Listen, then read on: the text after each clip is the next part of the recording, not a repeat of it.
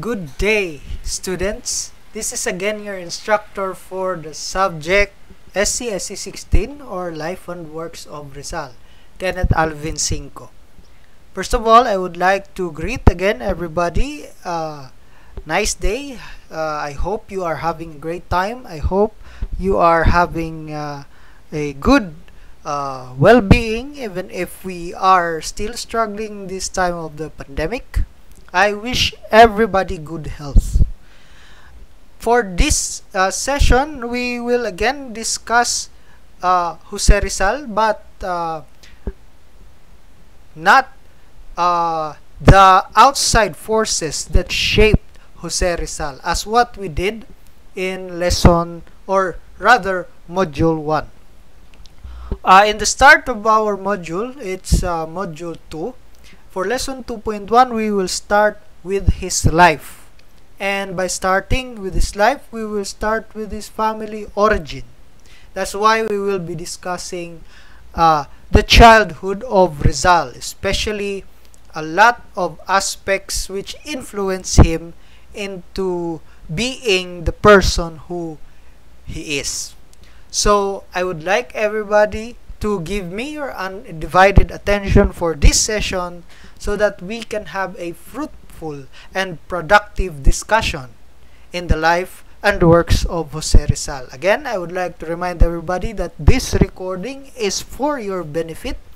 Anytime you can uh, log in to your account and access through the Google Drive or uh, YouTube and you can uh, have this video lecture you uh, you can have this video lecture recording uh, review it and then make it as your reference. You can also download this video uh, so that you can bring it anywhere uh, you want to watch. Okay so so much for that. Uh, let us delve into the life of Rizal starting from his childhood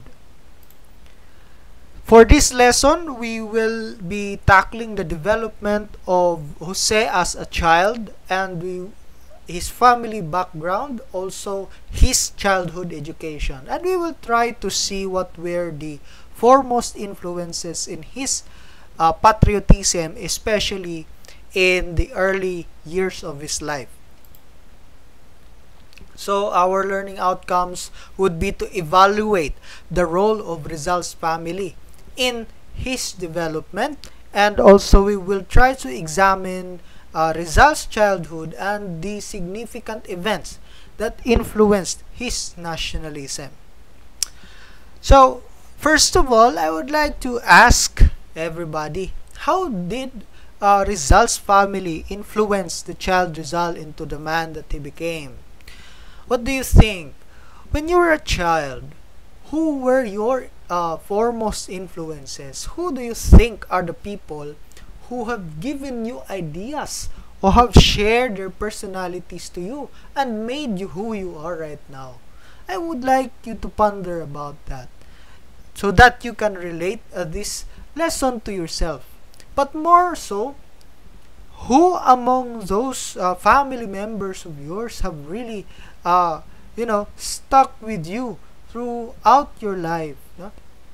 And a Rizal as a man, he has experienced also all of those things. No, he has uh, somebody whom he idolized. He also had uh, people who he relied upon, uh, and he had people who very much influenced him into becoming who he is right now.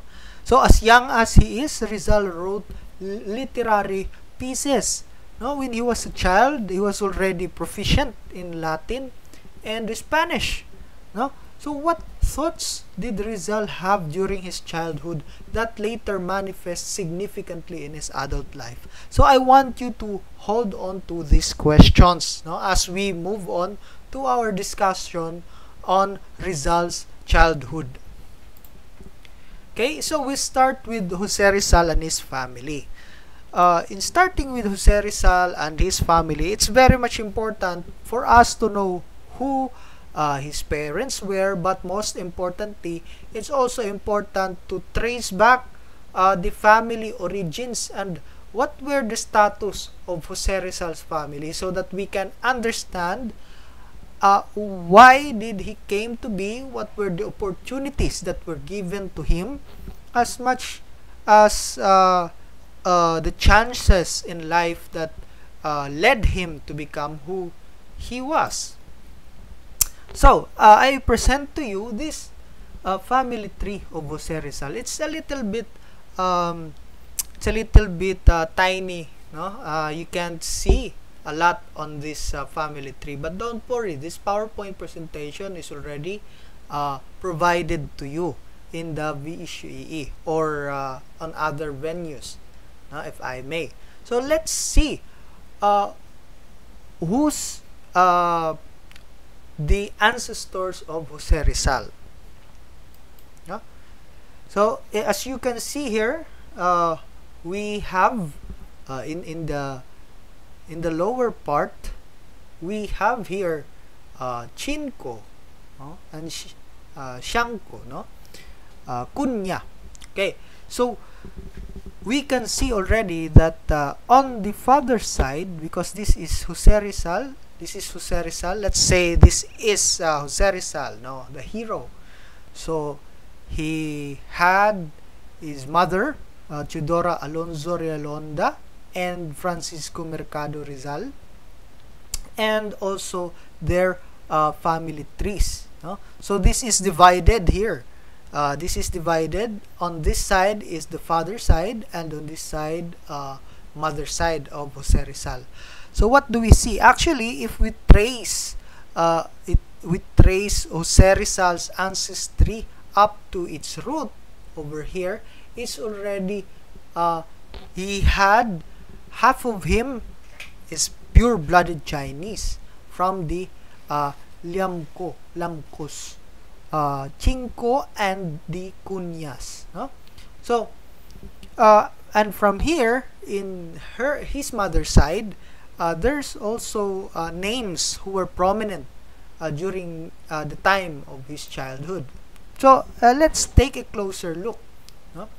So, Jose Rizal is the son of Teodoro Alonzo Realonda and Francisco Mercado Rizal.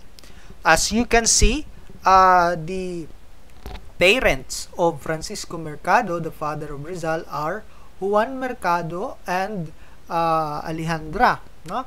And the ancestor of Juan Mercado is Francisco Mercado the first actually this is the first Francisco Mercado and also uh, Bernarda uh, Monica and as we can see we have here Domingo Mercado and Inez de la Rosa. So this in uh, Domingo Mercado is actually Domingo Lamco no? In the 1600s he moved uh, into uh, here in the Philippines in the 1600s but actually from China. And in the 1700s, when uh, the policies on changing the surnames were uh, executed in the Philippines by the Spanish government, he changed, Domingo Lamco changed his surname from being Lamco into Mercado, which means market. No? As you can see, it's very much Chinese. They believe in luck into uh, embedded in luck should be embedded into their names. That's why uh, we can theorize that uh, Domingo Lamco changed uh, the surname into Mercado, which is which means in Spanish market. So that's basically the uh, the ancestry of Jose Rizal in terms of his father's side. So in his mother's side, Teodora Alonso, he was Uh, Teodora Alonso was the daughter of Lorenzo Alonso and Brigida Quintos, and Cipriano Alonso and Maria Florentina were the uh, ancestors or parents of Lorenzo Alonso. Actually, um, the Quintos no, uh, were very prominent. Actually, uh, Quintos were Spanish officials and the Alonsos were uh, also had a prominent standing in society if i'm not mistaken or uh, they are their roles are reversed also but uh, the most important thing here is that they came from a, a well-meaning family. They had uh, this uh, power in their name, no, in in that society in their time, and the Mercados in uh, Francis Francisco Mercado's side in Jose Rizal's uh, father side, they were uh, Chinese men. They had businesses, but as we have discussed in lesson in the previous lessons in uh, module 1 uh, their business being Chinese transformed when the Philippine uh, economy also transformed no? when the Philippine economy also transformed from being a galleon trade into cash crop uh, society their role also uh, changed from being uh, merchants and into uh, having business in land owning or land management. Okay, so that's how uh, the Rizal family's ancestry were. No? So Don Francisco Mercado II married Doña Tudora Alonso Irilianda. No? Uh, Doña Tudora came from a respected family, an educated family. And jo- Doña Tudora would later be described by Rizal in his letter to Blumentritt as a woman of more than ordinary culture and also a mathematician who has read many books. Now, it was common for uh, women from that time to read books, no? but the books were read were mainly uh, from the Doctrina Christiana, uh, holy books, holy scriptures, because what, as you can uh, imagine, the people long ago in these islands they were really uh, uh, educated in the Christian way, in the Catholic way. So the the, the girls were uh, expected to be, you know, prim and proper and and to have uh, a certain level of high understanding for the uh, biblical scriptures and the homilies, no, and those sacred things, and also in the uh, domestic activities of being a woman. But uh, it is important to note that uh, Doña Tudora was a very educated uh, person. You know, she was, as described by Rizal, a mathematician, but she was also a woman of extraordinary culture. That's perhaps because she came from a family uh, with a prominent background, with a very uh, good background standing in society. So the Mercado family thrived and rose to the class of citizens known as the Principalia or the middle class. So in the time of Rizal, the Principalia was now the middle class. No, it, they are not really the the people who work no uh, on very low uh, class jobs, but uh, they have this certain standing. No, Principalia was the, was the name for that class. For uh, in our uh, in our present time we can identify them as the middle class. Those who have these jobs not so special jobs but not so lowly jobs also.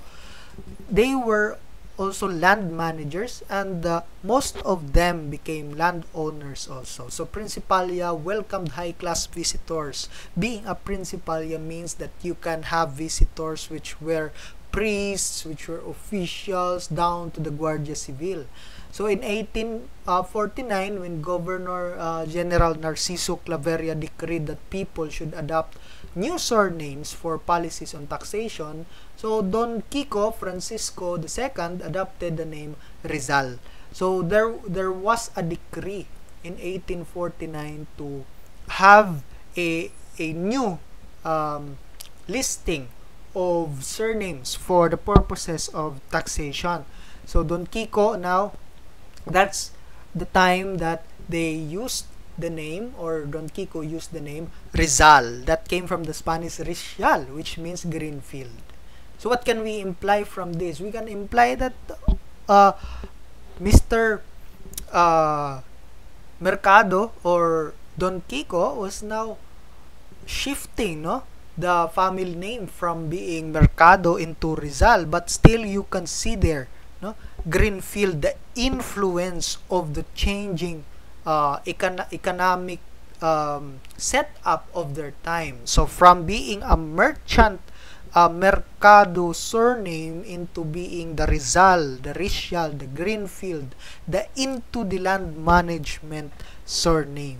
So, Rizal means Greenfield. So, Jose described his father as a model of fathers, a hardworking giver who supported his children's education. So, that's how Rizal also uh, described his father. Now, um, we will look into uh, the family, the immediate family of uh, Jose Rizal, no? The sons and the sons and daughters of Teodora and Don Kiko or Francisco Mercado. So this is a picture of uh, them. Uh, all in all, we have uh, 1, 2, 3, 4, 5, 6, 7, 8, 9, 10, 11, no? Uh, some sources say uh, it's 12, but it's actually uh, this. So this, the daughters of uh, Teodora Alonso and uh, Francisco Mercado Rizal um, are Saturnina, Narcisa, Lucia, Olympia, Maria Concepcion, Soledad, Trinidad, and Josefa. So the, these are the daughters of uh, Don Kiko and Doña uh, Teodora. Okay, so these are the siblings of Jose Rizal, and he had a single. Mm, he had a a uh, single brother. He had a brother who's Pasiano.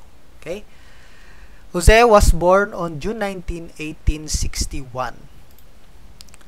So Jose Rizal's father and mother became considerable influences on his childhood. Both of them religious. And uh, both were merciful no? But uh, they were very influential in Jose's education. Although her sisters all loved Jose his brother Pasiano played the most significant role in the development of his patriotism uh, Jose Rizal's sister sisters were very much caring no because Pepe was their you know bunso uh, they were caring they they showed a lot of affection to Jose no but in terms of the patriotism that Jose Rizal developed, it was Pasiano that influenced him. He was the one who even influenced him to convince him to study abroad, no? to continue his studies and not to just uh, stay here in the Philippines. So we look into Pepe's childhood education. Let's let's look into uh, Jose Rizal's childhood education. So Jose was fondly called uh, by his family as Pepe.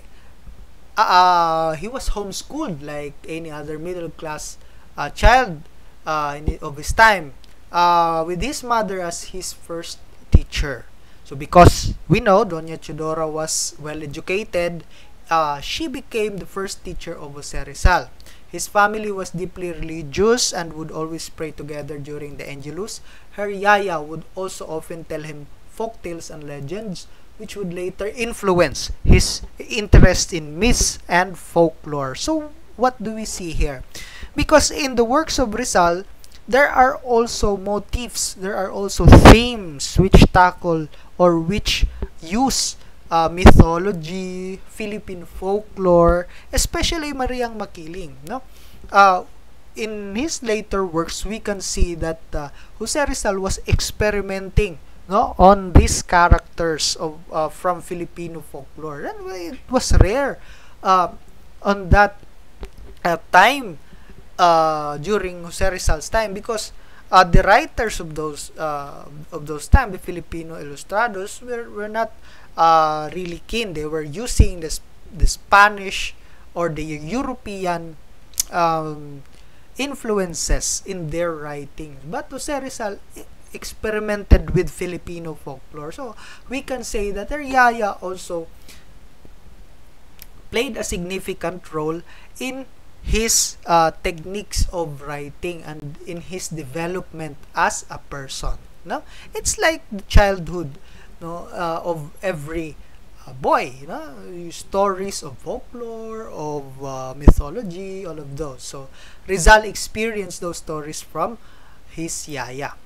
So her mother was also a storyteller whose stories served to teach Jose about morality. So in in an in a household where uh, we have this kind of people who were educated from the uh, Spanish and also from um, religion, we have morality as the first education to the uh, young child, very young child. Doña Tudora uh, was also the one who taught Jose how to pray. Of course, Jose's intelligence manifested when he learned the alphabet at the age of three. Imagine that. Because, well, we have no distractions long time ago. But, well, it proved no, that Jose Rizal was very uh, intelligent. He showed interest in books. Like most of the Principalia class, Jose afforded to study under private tutors. So, this is uh, the part where I'm saying that Jose Rizal had his opportunities because he came from a well-meaning family. He had this status. They can afford to hire tutors uh, for them no for Jose to be educated for the children of the mercados to be educated especially the boys no so some of the teachers of Jose Rizal were Maestro Celestino and Maestro Lucas Padua his third tutor Maestro Leon Monroy was the one who honed Jose's basic uh, Latin reading and writing skills and then eventually Jose showed his poetic gifts and would often be asked by his mother to write verses. So at the age of 9, Jose studied under Maestro Justiniano Cruz, who was also Pasiano's former mentor in Binyan. The life of Jose under Maestro Cruz was strict no, and rigid. It was not like our time. No, uh, in in the uh, time of the Spanish, the tutors were allowed to have uh, punishment what with mean capital or not not capital like uh, uh, punishment no uh, strict physical punishment when you were not disciplined enough. So that's how they were rigid. And they took it also from the friars no? So he took also painting lessons from maestro Juancho maestro Cruz father-in-law who then excelled in Latin and Spanish under maestro Cruz's tutelage. So it was really Maestro Cruz who were uh, tutoring him into honing no, his Spanish language. Now, on December 17, 1870, Rizal returned to Calamba after a year and a half of studying at Binyan, Laguna. So let's go to uh, the influences of Jose Rizal when uh, he was just young and he was just beginning no, to light uh, the fires of his patriotism. Uh, let us look into that. So there were two significant events when he was a young child that influenced Jose Rizal when he was still growing. No, it influenced his uh, memory into being a patriot later in his life. These two memories were number one was the uh, arrest of Doña Tudora no this this illegal and unjust arrest of Doña Tudora when uh, by the Spanish authorities and priests and the false accusation. And the second one is the uh, execution of the martyrs Jose uh, Gomez Burgos and Zamora. So what happened uh, to Rizal's mother Doña Tudora no? The first one uh, when Doña Tudora was arrested, no, uh, she was already advancing in her age. No? The story was that uh, Doña, uh, Doña Tudora had a brother. This was Jose Alberto. Uh, this brother was asking for help to Doña Tudora. No? So, big, why? What what was the um, the issue? The issue was Jose Alberto's wife. Now, the brother wanted to divorce his wife, but then Doña Teodora advised the opposite. Because, you know, uh, during those time, it was Catholic and it was uh, the respect uh, for for the Catholic doctrine and the like. No, instead, uh, Doña Teodora said that he would house the wife of Jose Alberto into their home. No? Now, when the wife was at Don, Doña Teodora's, she accused Doña and Jose Alberto of poisoning her. So, kasi uh, itong si Jose Alberto ay aalis, no? So, sinabi ni Doña Teodora na doon lang muna sa bahay. Pagkatapos, anong ginawa? So, ito si uh, asawa naman ni, ni Jose Alberto ay pinagbintangan niya yung matanda at saka si Jose Alberto. Sinabi niya na sa mga otoridad na ah, linalason siya. Ito namang si Doña Teodora nagmamaka uh, nagmamagandang loob lamang, hinaatiran siya ng pagkain, ganon. Pero yung totoo talaga, uh, itong asawa ni Jose Alberto na kapatid ni Doña Tudora ay naghe-hysterical, no? At uh, pinagbibintangan na si Doña Tudora. So after this, the Guardia Civil and Mayor uh, Antonio Vivencio del Rosario arrested uh, the old lady, no? These authorities also forced Doña Tudora to accept to concede to the crime without you know without the proof However, the case was already in the Supreme Court, no? And Doña Tudora was acquitted. So, this decision proved that he she was unjustly detained. She was unjustly imprisoned, no?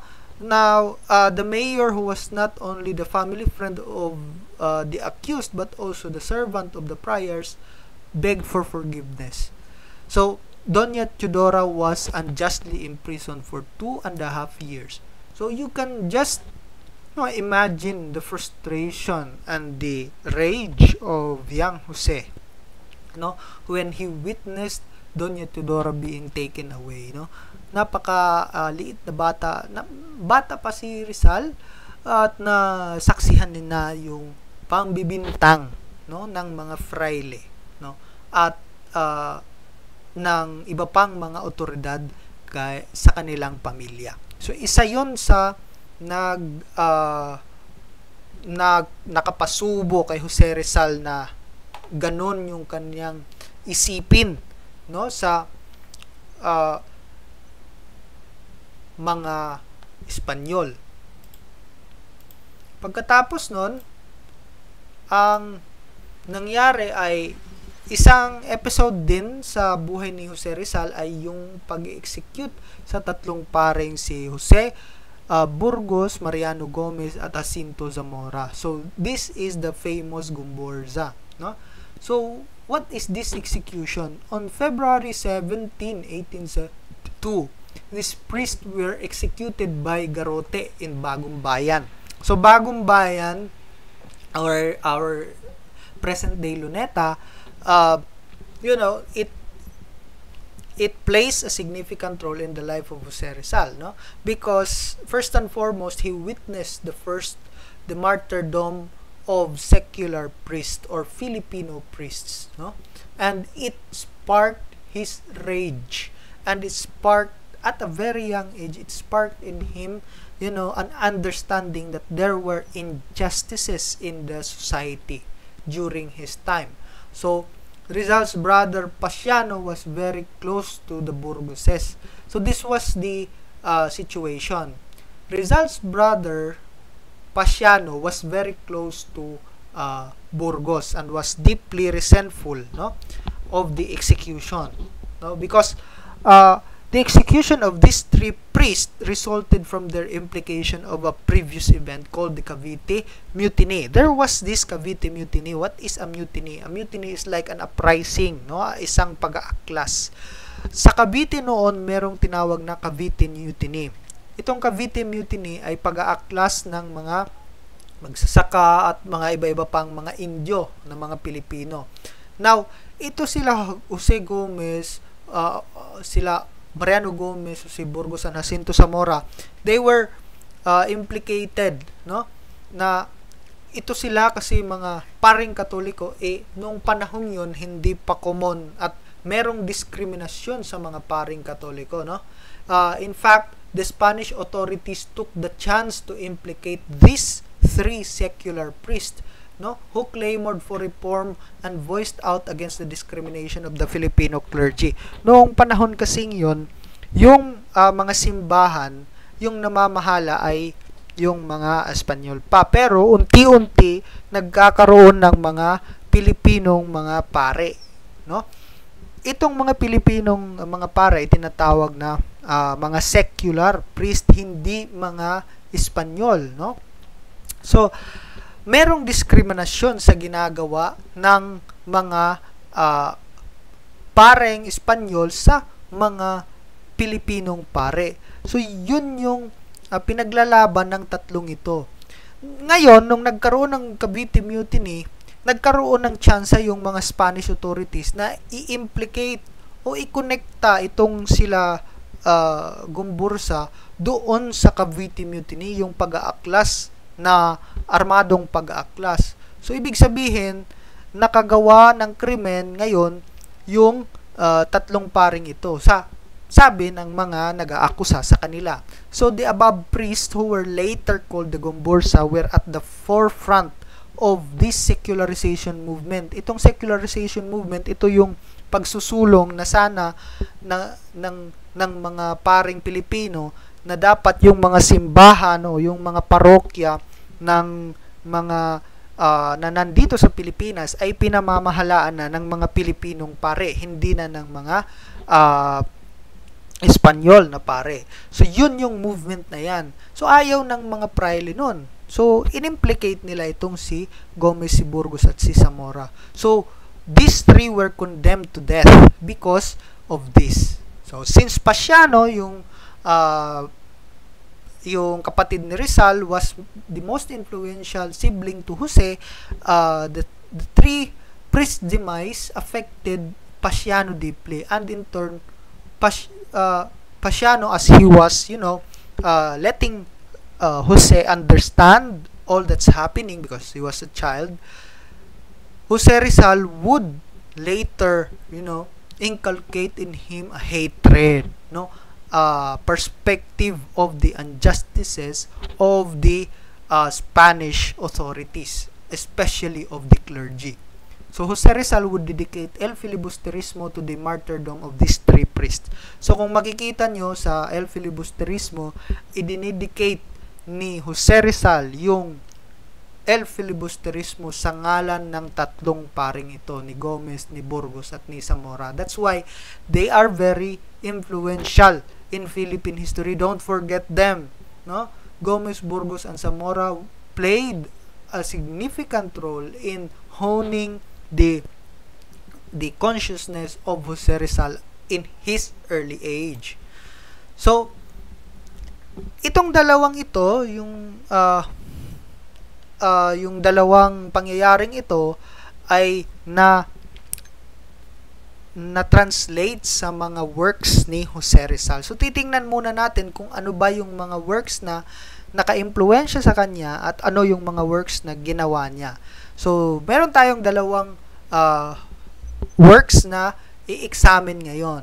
Uh, so, in this section, we will discuss Doña Tudora and uh, the Gumbursa in Rizal's thoughts and writing. So, uh, paano ba naka-impluensya o paano niyan nagawa no?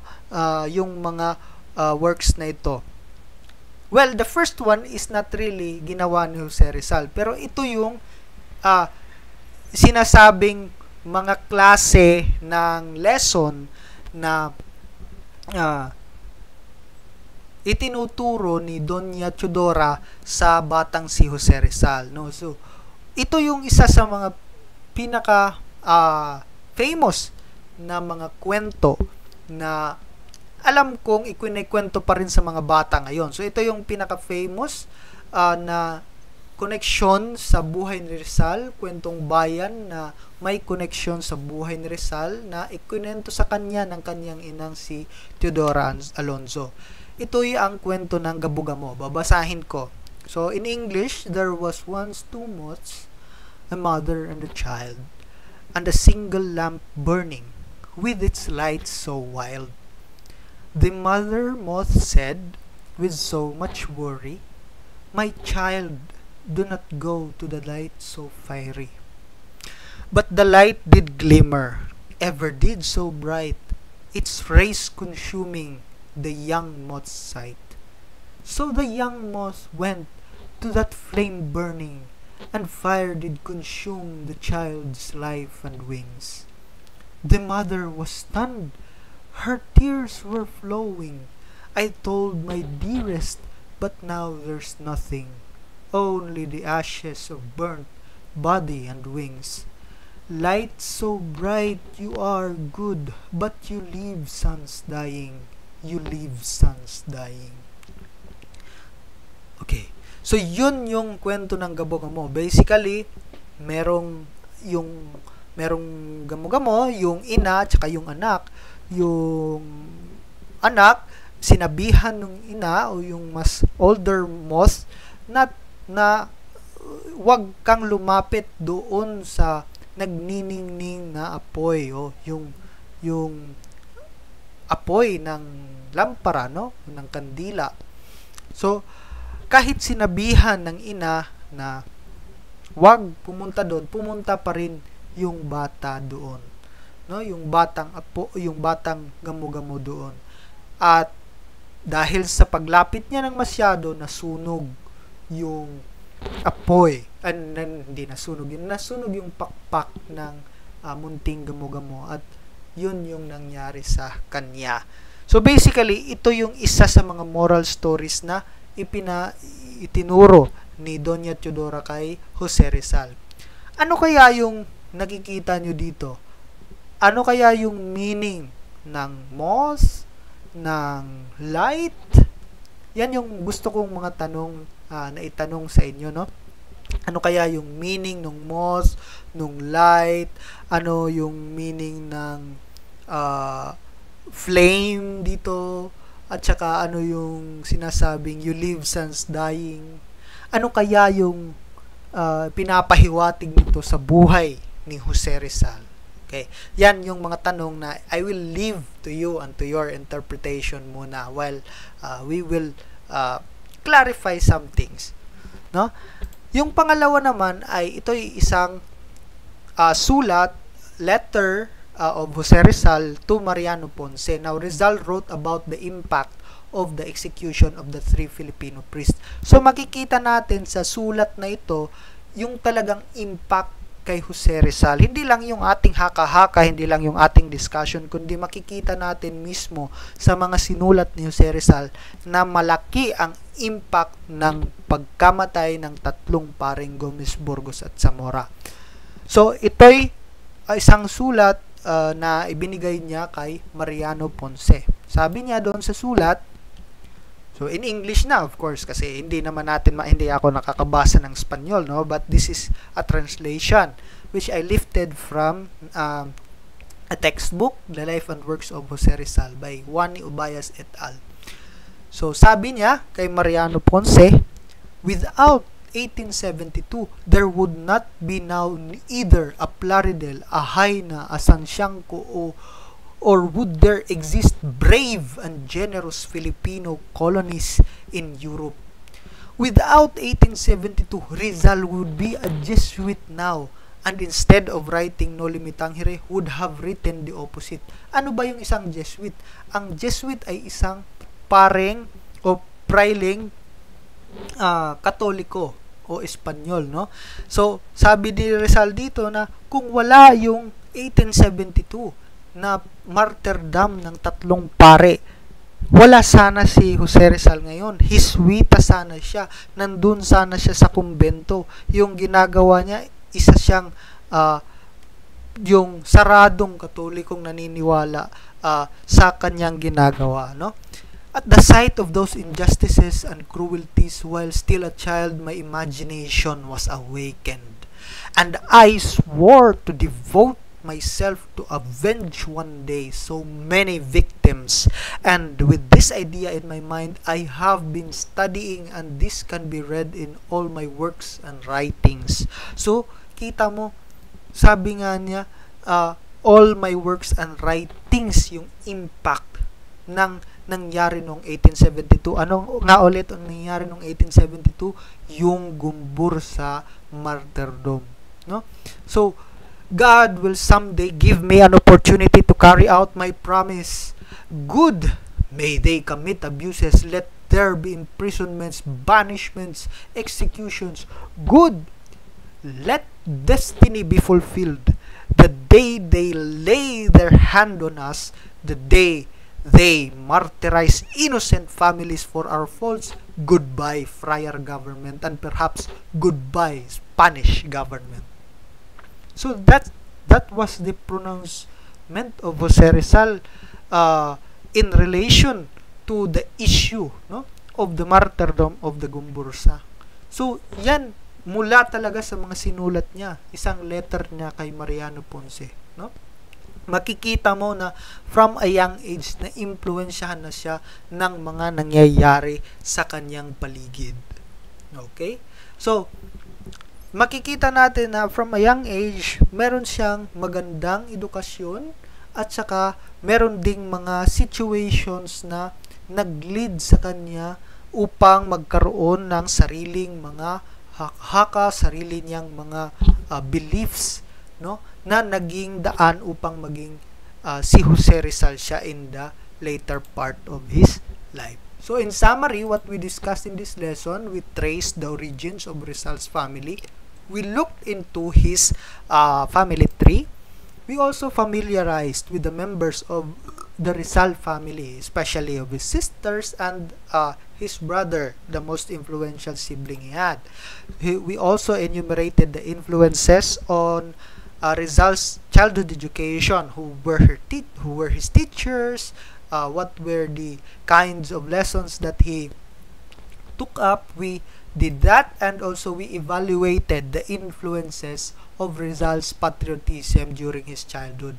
We looked into two significant events in his childhood life, and that's uh, and how it honed him into becoming who he is in his uh, you know, adult years. So, my reference and sources is uh, this, the life and works of Jose Rizal and also our module. And I would like to thank everybody for listening to this uh, lecture for lesson 2.1. Uh, I hope to see you again next time for our next lesson. Goodbye and God bless.